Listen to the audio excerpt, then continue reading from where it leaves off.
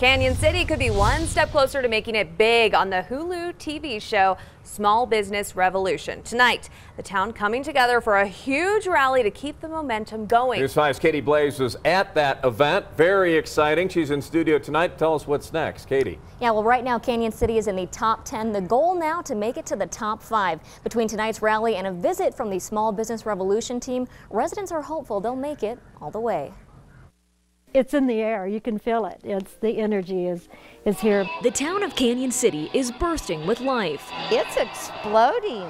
That's why all these people are here. Hundreds gathering downtown for a rally to welcome the Small Business Revolution team. This event tonight is something that is a big honor for us. Cañon City, the last stop on the top 10 tour. We interview business owners and trying to hear like what brought them to Cañon City. Why are they? Um, why did they start their business? Overall, the vibe has been very positive.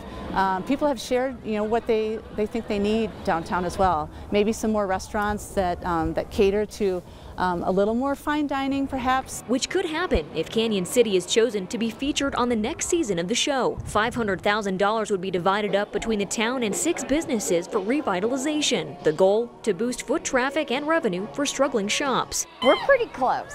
Hashtag My Cañon City. Let's do it.